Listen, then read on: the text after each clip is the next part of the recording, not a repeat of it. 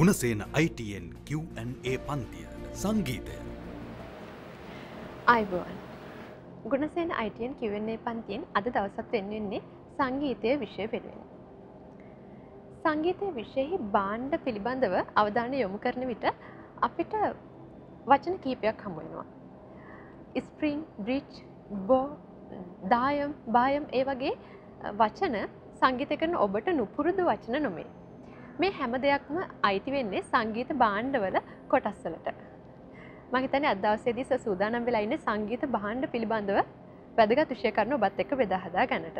අදත් අපිත් එක්ක එකතු වෙන්නේ වයඹ ජාතික අධ්‍යාපන විද්‍යාපීඨයේ සංගීත කතිකාචාර්ය හේරත් රාජපක්ෂ මහත්මයා. අයිබෝන් සර්. අයිබෝවන් සෝද. අයිබෝවන් දරුවනේ. අද අපි සංගීතයේ තියෙන තවත් පැතිකඩක් පිළිබඳ කතා කරන්න හදන්. සංගීතයේ ගායනය වාගේම වාදනයත් වැදගත් වෙනවා. වාදනය කරන්නේ සංගීත බාන්. සංගීත බාණ්ඩවල සොරපිහිටීම හා ව්‍යවහය පිළිබඳ ඔබගේ විෂය නිර්දේශය තියෙන කරුණු කාරණා ඉගෙන ගන්න. ප්‍රශ්නපත්‍රයටත් සංගීත උපකරණ පිළිබඳ නැත්තන් සංගීත බහන්්ඩ නිර්මාණය හා සොරපිහිටීම පිළිබඳ ප්‍රශ්න කීපයක් ඇතුළත් එන්න පුළුවන් බහුවරණ ප්‍රශ්නය හා ව්‍යවහගත ප්‍රශ්නය.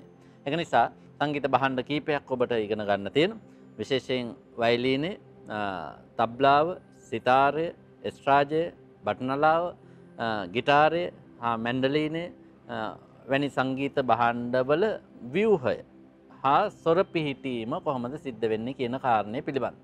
ඒවගේම සංගීත බාණ්ඩවල සුවිශේෂි ලක්ෂණ එවගේම සංගීත බහන්්ඩ වාදනය කිරීමේ සුවිශේෂී වූ සංගීත ශිල්පීන් පිළිබඳ ඔබට අධ්‍යනය කරන්න තියෙන.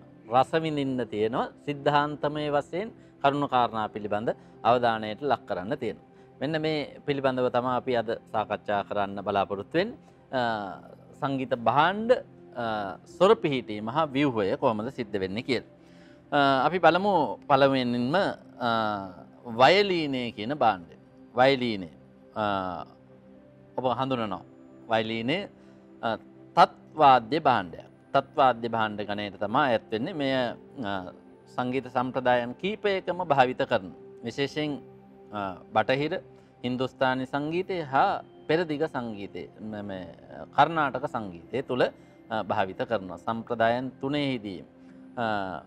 විශේෂෙන් අපි හින්දුස්ථානි සංගීතය හදාරණ දරුවන් විදිහට අපේ අය හින්දුස්ථානය සංගීතයේදී වයිලීනය කොහොමද භාවිත කරන්න කියන කාරණාව පිළිබඳ අවධානයට ලක් කළ යුතු වෙන.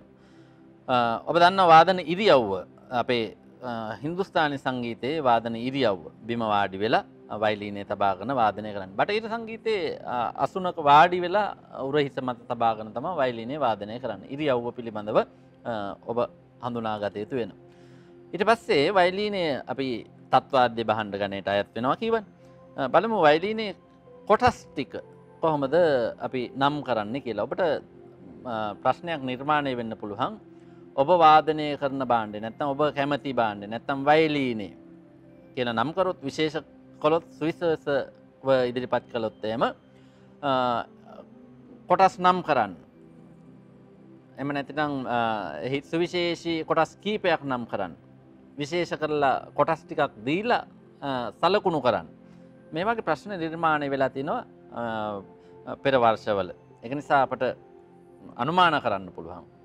සංගීත බාණ්ඩවල කොටස් නම් කිරීම. වයිලිනේ කොහොමද කොටස් නම් කරන්න? අපි කීපයක් බලම්. වයිලිනේ ඔබට පේනවා මේ පින්තූරේ. කොටස් කීපයක් නම් කරලා තියෙන. පළමු එක ටියවනින් පෙක්ස් ටියවනින් පෙක්ස් අපි දන්නවාර තත් සුසර කරන්න ප්‍රධානව මූලිකවම සුසර කරන්න භාවිත කරන පෙක්ස් සොල්ට අපි කියෙන ටියවනින් පෙක්ස් කියල්. ඉළඟට වයර් හතර අපි කියනොත් ස්ට්‍රිංස් කියලා ස්ට්‍රින්ස් කියන නමින්ම ඔබ ලකුණු කරන්න. තත් කියලා ලකුණු කරනට වඩා වඩාත්ම වැදගත් මේ භාවිත කරන නම්ම භාවිත කරමින් මේ බහන්්ඩවල කොටස් නම් කරන කාරණය. ඉළඟට තත් රඳවන නැත්න ස්ට්‍රිංස් රඳවලා තියෙන්නේ බ්‍රිජ් කියන කොටස නම් කරලා තියෙන. ඉළඟට සිදුරු දෙක ඔබ දකිනවා. F හෝල් කියලා ලකුණු කරලා තියෙන. ඒවගේම අවසානය තියෙනවා චින් රෙස්ට් කියල්. නිකට තබන අපේ තබාගන්න වයිලීන එතන. එවගේම ඇගිලි තබන ස්ථානය අලු පාට කොටස අපි කියනවා එක ෆිංග බෝඩ් කියල්. අනිත් පැත්තේ තියෙනවා බෝ බෝ එකේ තියෙනවා කොටස් බෝ ස්ටික් කියලා කියනවා. අනිත් පැත්ත බෝ හයා කියලා කියන මෙන්න මේ කොටස් ටික දලරූප සටහනක් මගින් ඔබට නම් කරන්න එන්න පුළුවන්. ඔබ ඉතන්න එපා අපට චිත්‍රාඳින්ට බෑනි කියල්. ඕ සමර දරුවන්ට කිවා මෙම කියනවා. අපට චිත්‍ර බැරි නිසාන සංගීත තෝරගත්ත. චිත්‍රාඳින්ට මේ පින්තූරාන්දින්න බෑනිසර් කියන ඒක වැරදි අදහසක්. චිත්‍ර රූප රාමුව නැත්තං සංගීත බාණ්ඩෙ දල රූප සටහනක් පමණයි ඔබයින් අපේක්ෂා කරන්න. කොටස් නම් කිරීම සඳහා. චිත්‍රයක් වගේ හැඩ වැඩ කරන්න පාට කරන්න යන්න එපා විභාගය දෙවුණත් අපරාධ කාලේ නාස්ති කරගන්න එපා දල රූප සටහනක් ප්‍රමාණවත් වෙනවා. මෙන්න මේ කොටස් ටික නම් කරගත්තහම මහිතන්න ඔබට වඩාත් වැදගත් වෙනවා. ඔබේ ප්‍රශ්න පත්‍රයට මුණ දෙන්න පුළුවන් ඔබට. කොටස් කීපයක් ඔට මතක තබා ගන්නත් පහසුයි. මේ භාවිත කරන නම් භාවිත කිරීම තමා වඩාත්ම වැදගත්වෙන්. නිවැරදිවම ලකුණු කරන්න උත්සාහ කරන්න. ඉළඟට බලමු අපි දැම් මේ කොටස් වගේ මෙහි විව්හය මේක දැන් නාදයන අපි නිර්මාණය කරන්න වයිලීනේ වාදනය කරනකොට විව්හය වැදගත් වෙනවා අපි මේ කොටස් වල ක්‍රියාකාරී ස්වභාවේ. එක වසරක මට මතකයි ප්‍රශ්නයක් අහලා තිබුණ වයිලීනේ සවුන්් පෝස්ට් අර ඇතුළෙ තියෙන රඳවනය ගැලවුනොත් එහෙම මොකද සිද්ධ වෙන්න කොහොමද ඒක හදාගන්න කිය. එම නැත්තං තත් සුසර කරන්නේ කොහොමද කියලා. විවිධ පැතිවලින් අහන්න පුළුවන් සංගීත බාණ්ඩය ගත්තහම් ඒක ව්‍යවහය කතා කරන්න පුළුවන් ඒක පසුබිම කන නැත්තන් ඉතිහාසය ගැන කතා කරන්න පුළුවන් ඒක සොර පිහිටීම ගැන කතා කරන්න පුළුවන්. එක නිසා දැන් ඔබට අධ්‍යනය කරන්න සිද්ධ වෙනවා වයිලීනේ යම් යම් කොටස් වලින් සිදුවන කාර්ය භාරය පිළිබඳ පුංචි අත්දැකීම පුංචි අවබෝධයක් ලබා ගැනීම වඩාත් වැදගත් වෙනවා. උදාහරණයක් විදිහට කිවොත් දැන් පෙක්ස් වලින් කරන්නේ අර තත් රඳවනය තත් ඇද බැඳ ගැනීම ඇතන් තත්වල නියම ස්වභාවයට මූලික අවශ්‍ය පසුබිම සකස් කර ගැනීම. ටියවනිං කිස් වලින් ටියවනින් වලින් කරන්න ඇජස්ටස් වලින් කරන්නේ නියම ස්වභාවයට සියුම්ව සුසර කර ගැනීම. අන්න ඒවාගේ මේ වයිලීනයේ තියෙන කොටස් වලින් සිදුවන කාර්ය භාරි පිළිබඳවත් පුංචි අවධානයක්කම කරන්න. ඒවගේම වයිලීනේ සොර පිහිටීම. වයිලීන සොර පිහිටීම ඔබට දර්ශනය වෙනවා. මේ සොර පිහිටීම වඩාත් වැදගත් වෙනවා. වයිලීනේ සොර පිහිටීම. විශේෂයෙන් හින්දුස්ථානි සංගීතය අපි වයිලීනේ සුසර කරන්න. මන්ද්‍ර පා සා පා උච්ච සා කියන සොරයන්ට. ඒ අනුව සොර පිහිටීම ඔබට පේනවා. පළවෙනි සාසොරය ඉළඟට රීස්වරය ඉළඟට ගාසොරය මාසොරය පිහිටන්නේ ගාසොරය ළඟින් ඒ වගේම පංචමය ඊට පස්සේ දහිවතේ නී ළඟම පිහිටනවා උච්ච සාසරය මෙන්න මේක තමා ලකුණු කිරීම වඩාත් වැදගත්වෙන දල්ල රූප සටහනකින් සලකුණු කිරීම වඩාත් වැදගත් වෙනවා. එමනං අපි ඊළඟ සංගීත උපකරණය සංගීත බාණ්ඩය ගැන කතා කරන්න පෙරාතුව පුංචි විරාමයකට යම්. සංගීතය. හොඳයි. අපි කතා කරේ වයිලීනය පිළිබඳ. දැන් අපි කතා කරමු තබ්ලාව පිළිබඳ. ඔබ මූලික වශයෙන් තබ්ලාව පිළිබඳ කරුණු කාරණා කීපයක් දැන හැඳින ගත යුතු වෙනවා. තබ්ලාව හින්දුස්ථානි සංගීතය ප්‍රධාන තාලවාද්‍ය බාණ්ඩ. එක ඔබ දන්න. ඔබ හඳුරනවා පන්තිකාමරය තුළත් භාවිත කරලා තියෙන. තබ්ලාව තාලවාද්‍ය බණ්ඩ මේක අපි කියනවා අවනද්ද බහන්්ඩයක් කියලා අවනද්ද බහන්්ඩ කියන්නේ අවනද්ද කියන වචනය ඔබ හඳුනාගත යුතු වෙනවා වැස්සුණු ලද වැසුණු සමකින් යුක්ත ඇදුණු හමකින් යුක්ත කුහරයක් සහිත ඇදුණු සමකින් යුක්ත බාණ්ඩයන්ට තම අවනද්ද බාණ්ඩ කියලා කියන්න. අවනද්ද බාණ්ඩ එතකොට අඳර මතක තබාගන්න අවනද්ද බාණ්ඩයක් වශයෙන් තමා සලකන්නේ තබ්ලාව. මේ සංගීත බාණ්ඩය තබ්ලාව පක්වාජය කියන සංගීත පහන්්ඩය ආධාරය ආධාර කරගෙන සබ්ලාව නිර්මාණය කරාය කියලා තමා විශ්වාස කරන්න. මෙත් නිර්මාණය කිරීමේ ගෞරවය හිමිවන්නේ අමීර් කුෂ්රු කියන සංගීතඥයට. පක්වාජය නැත්තම් පකාවාජ් කියල කියනවා. ඒ ගහම්බීර හඬකින් යුක්ත සංගීත බහන්්ඩයක් උත්තර භාරතය සංගීතය තියෙන්. එබන්්ඩේ ආධාරයෙන් තබ්ලාව නිර්මාණය කළ වගට තොරතුරු සාක්ෂි තියෙන. එනිසා තාලවාද්‍ය බාණ්ඩයක් අපි මුලින්ම කිවනේ සංගීතයේ ශෘත්ති මාතා ලය පීත ලය නැත්තන් තාලය තාත්තවාගේ. සොරවාද්‍ය හා තාලවාද්‍ය මේ දෙක එකතු වෙච්චාම තමා සංගීතය කියන දරුවා බිහිවෙන්. එතකොට සංගීතයක පැත්තක් තාලය කියන්න එත නිසා තාලය තාලවාද්‍ය බාණ්ඩ වැදගත් වෙනවා. තබ්ලාව තබ්ලාව කොටස් නම් කරන්න ඔබට අවස්ථාවක් ලැබේ. සමහට විභාගයේදී ඔබගේ ප්‍රශ්නයක් යොමු වේවි. තබ්ලාවේ අක්ෂර පිහිටන ස්ථාන නැත්තං කොටස් නම් කරන්න. අක්ෂර මෙන්න මේ පිළිබඳ අවධානයට ලක්කිරීම වඩාත් වැදගත් වෙන පුංචි බලමු අපි මේ රූපරාමුවේ. තබ්ලාවේ කොටස් කීපයක් අපට නම් කරගන්න පුළුවන් පහසුවෙන් ඔව තබ්ලාව කියන බාණ්ඩ නිර්මාණය වෙන් කොටස් දෙයකින් එක කොටසත් තියෙනවා දායන් අනික බායන් කියලා කියනවා. දායන් බායන් කියලා කොටස් දෙක එකතු වෙලා තම තබ්ලාව නිර්මාණය වෙන්න කොටස් දෙකින් යුක්තයි. එහි මැද තියෙන කොටස ඔබ දකිනවා ෂයාහි කියලා ලකුණු කරලා තියෙනවා. බදාම කියලා එහෙම ලියන්න එපා. සමහර දරුව බදාම කියලා නම් කරන මේ මේ මේ වචන භාවිත කරන්න. ෂයාහි ඉළඟට තියෙනවා ඉළඟ කොටස ලවය. ඉළඟට චාන්ටිය උඩ කොටසෙදී අපට දකින්න පුළුවන් ඒ කොටස් තුන. ඉළඟට වටේට තියෙන කොටස ගජ්රා කියලා තියෙනවා. පටිවලට අපි බද්ධි කියනවා. ඒවගේම ගට්ටා කියලා කොටස් තියෙනවා. මෙන්න මේ කොටස් කීපය ඔබට පහසුවෙන් මතක තියාගන්න පුළුවන්. කොටස් කීපය මතක තියාගත්තාම තබ්ලාව කොටස් නම් කරන්න පුළුවන්. වඩාත් වැදගත් වෙන තබ්ලාවේ උපදින අක්ෂර තබ්ලාවේ අක්ෂර ඔබට හඳුනාගන්න තියෙනවා. උපදින්නේ කොතනින්ද කියන කාරණය පිළිබඳ. ඒ පිළිබඳවත් අවධානය යොමු කරන්න. ඒවගේම තබ්ලාව වාදනය කිරීමේ සුවිශේෂී ශිල්පීන් පිළිබඳවත් අවධානය යොමු කරන්න. මේ කාරණා පිළිබඳ අවධානයට ලක් කළහම සංගීත බහන්්ඩයක බාණ්ඩයක් ආශ්‍රිතව නිර්මාණයෙන් ප්‍රශ්නයකට පිළිතුරු සපයා ගන්න ඔබට පහසුයි. සාමාන්‍ය අර පොඩි අය තබ්ලාවට කියන තව පොඩි බෙරේ කියලත් කියනවා ඇබැයි විභාගෙතිලි යන්න පා පොඩි බෙරේ කියලා පොඩි අය පාවිච්චි කරන පොඩි බෙරේ කියලා. පොඩි අයගායනා කරන පුංචි ගීතයක් පොඩි ගීතයක් සංගීත බාණ්ඩ පිළිබඳ නිර්මාණයව පුංචි ගීතයක් අපි රස විඳල ඊළඟ අවස්ථාව ලබාගන්න.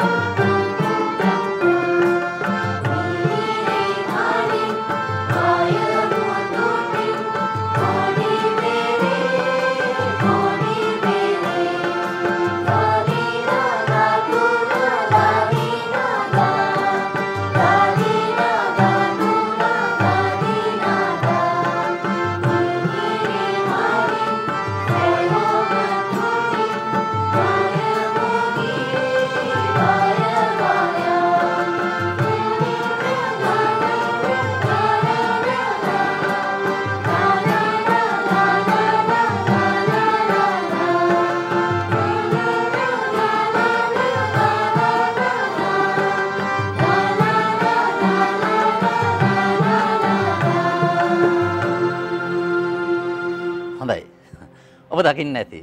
සංගීත බාණ්ඩ කීපයක්ම වාදනය කළා. සංගීත බාණ්ඩ නොතිබුණාට ඔවුන් ඒ වාදන කරන ස්වරූපය අනුකරණය කරලා පෙන්වා. එක තමා අවශ්‍යතාවේ තිබුණේ මෙහි සඳහන් වෙන නාදයන් ගැන ඔබ හිතන්න එපා මේ වාදනය කරන ඉරියව්ව පිළිබඳ මතක තබාගන්න පුංචි උදව්වක් වේවි ඔබට. සංගීත බාණ්ඩ කීපයක්. ඔබට අදාළ සංගීත බාණ්ඩ තිබුණ වයිලීන ඒවගේම තිතාරේ තිතාරේ වාදනය කරනකොට කොහොමද ඉරියව්? තබ්ලාව වාදනය කරනකොට කොහොමද ඉරියව්? බට්නලාව වාදනය කරනකොට කොහොමද ඉරියව්ව කියන ගිටාරේ ඒ වගේම දකින්න ඇති වාදනය කරන ස්වරූපය අනුව ඔවුන් අනුකරණය කරලා පෙන්වා. පුංචි ළමයි එහෙම වාදනය කරාට එම වාදනය කරනකොට අපට ඉරියව්ව මතක තබා ගැනීම වැදගත්වෙන මොකද බහන්්ඩ වාදන ඉරියව් පවා ඔබගෙන් අපේක්ෂා කරන්න පුළුවන් නිසා. මෙන්න මේ කාරණාටික මේ බාණ්ඩ පිළිබඳ තවදුරටත් අධ්‍යයනය කර ගැනීම මහිතන්නේ ඔබගේ ඒ සාමාර්ථය කරා යන ගමනට මහත්රුකුලක් වේ. කෙටි විරාමයක් කරගෙන අපි ඊළඟ බාණ්ඩය පිළිබඳ සාකච්ඡා කළ. සංගීතය. ඔවදරුවනේ අපේ සංගීත බාණ්ඩ පිළිබඳ සාකච්ඡා කරනකොට තවත් සුවිශේෂිම සංගීත බාණ්ඩ හින්දුස්ථානි සංගීතයේ මිහිරිතම සංගීත බාණ්ඩය වශයෙන් සලකන්න සිතාරය. ප්‍රධානතම තත්වාද්‍ය බාණ්ඩය වශයෙන් සලකන්නේ සිතාරය. සිතාරය නිර්මාණය වන්නේ සෙහෙතාර් කියලා කියනවා සෙහෙ කියන්නේ හතර හතක් තාර් හතකින් නැත්තන් තත් හතකින් යුක්ත බාණ්ඩය සිතාර් වශයෙන් තමා හඳුන්වන්. මේ නිර්මාණය කිරීමේ ගෞරවඇත් අමීර් කුෂ්රු කියන සංගීතඥයට හිමිෙනවා බව තම සඳහන් වෙන්. සිතාරය තත්වාද්‍ය බාණ්ඩයක් තත්වාද්‍ය බාණ්ඩයක් තත්වාද්‍ය බාණ්ඩ ගනයට අයිති වෙන සිතාරයේ සුවිශේෂීම ලක්ෂණය තමා තත් හතකින් යුක්ත මිහිරිත්ත බවකින් යුක්ත සංගීත බාණ්ඩය. මේ බාණ්ඩේ කොටස් ටික ඔබට නම් කරගන්න අඩුගානේ කොටස් පහක් හයක්පත් නම් කරගන්න පුළුවන්කම තියෙනවන වඩාත් වැදගත්වෙන ඒ වගේම සිතාරයේ සොර පිහිටීම පිළිබඳවත් අවධානයට ලක් කළ යුතු වෙනවා. බලමු අපි කොටස් කීපයම් මේ පින්තුර රාමුව රූපරාමුවත් එක්ක. ඔබ දකිනවා සිතාරයේ ලොකු ගෙඩියක් වාගේ තියෙන කොටසක්. තුම්බාව කියලා තියෙනවා. ඒවගේම සිතාරයේ උඩ කොටස තියෙනවා. තත් තියෙනවා. එවගේම සිතාරේ උඩත් තියෙන තුම්බාව කියලා කොටසක් ඊළඟට සිතාරය අර සොර තියන්න තියෙන කොටස්. එවට අපි කියනවා පර්දා කියල. ඔබට පේනවා. පර්දාවලින් යුක්තයි. ඉල්ළඟට ටියවුණුන් කීස් තියෙනවා. මෙන්න මේ සිතාරය රූපරාමුව අනුව ඔබට මෙහි කොටස් කීපයක් මතක තබාගන්න පුළුවන්නම් වඩාත් වැදගත් වෙනවා. ඒවගේම සිතාරයේ වාදනය සඳහා යොදාගන්න උපකරණය මිස්්‍රාබ් කියලා අපි කියන. සමහර වෙලාවට බහුවරණ ප්‍රශ්නවලදී ආනවා පුංචි පුංචි ප්‍රශ්න අපි නොහිතුවාට පුංචි දෙයක් සිතාරය වාදනය කරන්න යොදාගන්න මිශ්‍රාබය සමහරලාට ඔය වචනය අමතක වෙන්න පුළුවන් එනිසා සමහර වෙලාවට කෙටි ප්‍රශ්නවලදි බහුවරණ ප්‍රශ්නවලදී ඔබෙන් විමසන්න පුළුවන් ඒවාගේ ප්‍රශ්න. එක නිසා සිතාරය. ඉළඟට සිතාරයේ සොර පිහිටීම ඔබට පේනවා සිතාරයේ සුවිශේෂීම බව තම පර්දා අතර සොර පිහිටීම කෝමල රිෂභය හා කෝමල දෛවතය අතර පරතරයක් තියෙනවා. මෙන්න මෙතන තමා පරතරයේ තියෙන්නේ අනිත් හැම තැනම සමානව පර්දා පිහිටලා තියෙනවා. අන්න ඒක මතක තියාගත්තාම තත මන්ද්‍ර මාසරයට තමා සුසර කරන්නේ මාසරයේ සිට ඔබට එකින් එක එකින් එක එකින් එක ඊලට යන්න පුළුවන් මතක තබාගන්න පුළුවන්. සොර දොළහ මතකනං සා කෝමලරී සුද්දරී කෝමලගා සුද්දගා මා තීවරමා පා කෝමලදා සුද්දදා කෝමලනී සුද්දනී. ඔය පිළිවෙලට මතක තියාගන්න පුළුවන් අර මායකේ ඉඳං පිළිවලට ලකුණු කරගෙන එන්න පුළුවන්. අර කෝමල රී හා කෝමල දා කියන සොර දෙක විතරක් ලවුණු කරන්න ඇතු සිතාරයේ සොර ලකුණු කරගන්න පහසු. එනිසා මේ පුංචි අභ්‍යාසයකේ දුනුත් නැවත ඔබ සිතාරයේ සොර පිහිටීම කොලයක් අරගන සලකුණු කරොත් එහෙම මේක පාඩන් කරන්න අවශ්‍ය දෙයක් නෙමේ ඔබට මතගේ රඳවා ගන්න පුළුවන් දෙයක්. සිතාරය වගේම ඊළඟට ගිටාරය පිළිබඳවත් ඔබට අධ්‍යයනය කරන්න තියෙන එක නිසා ගිටාරය පිළිබඳවත් කරුණු කාරණා අධ්‍යයනය කර ගත යුතු වෙන. එහිත් කොටස් කීපයක්වත් ඔබ ලකුණු කරන්න මතක තබාගන්න. විශේෂයෙන් බොක්ස් ගිටාර් බොක්ස් ගිටාරය ඔබට කොටස් ලකුණු කරන්න ඒවි සමහර විට එහි තියෙන සුවිශේෂී කොටස් කීපේ ඔබට පින්තකුර රූපරාමුවෙන් පේන කීපයක් ඔබට මතක තබාගන්න පුළුවන්. ගිටාරේ සොර හයක් තත් හයකින් යුක්ත බාණ්ඩයක් තත් හයකින් යුක්ත බාණ්ඩයක් එක නිසා ඒ තත්වල සොර පිහිටීම වඩාත් වැදගත්වෙනවා ඒ තුළත් අන්න අර ඉස්සරලකිව ප්‍රෙට්ස් නැත්තම් පර්දා පිහිටවලා තියෙනවා. ඒ පර්දා අනුව අර සොර දොළහ යන පිළිවෙල මතකනං ඔබට ඒ සොර ලකුණු කිරීම පහසු වෙන්න. අපි බලමු සොර පිහිටවීම කොහොමද සිද්ධ වෙන්න කියලා. මේ රූපරාමුවෙන් පේන්න ඔබට ඒ සොර පිහිටීම. ඒත් එක්ක ඔබට පුළුවන් පහසුවෙන්ම මේක මතක තියාගන්න. කොහොමද සොර ටික? පස් එම නැත්තං අපේ උච්ච ගා ඉලවස්සේ හීනිම වෛරක නී පා රී දා ගා කියලා මුලින්ම වෛර් හත වෛර් හය නම් කරගත්ත නම් ඔබට කිසි අපහසුවක් නැතුව ගිටාරේ පෙට්ස් අනුව සොර ටික ලකුණු කරන්න පුළුවන්. ඔබෙන් අපේක්ෂා කරන්න ඒ වැනි පුංචි දෙයක් ලොකු දේවල් අපේක්ෂා කරන්න. ඔබට මේ කාර්ය කරන්න පුළුවන්නම් මේ වෛර් හය ඇඳල සොර ලකුණු කිරීම නැත්තන් සොර පිහිටීම සරීගම්ම පද නිසා කොහොමද පිටන්න කියන එක සලකුණු කරගන්න පුළුවන් දෙතුම් වතාවක්.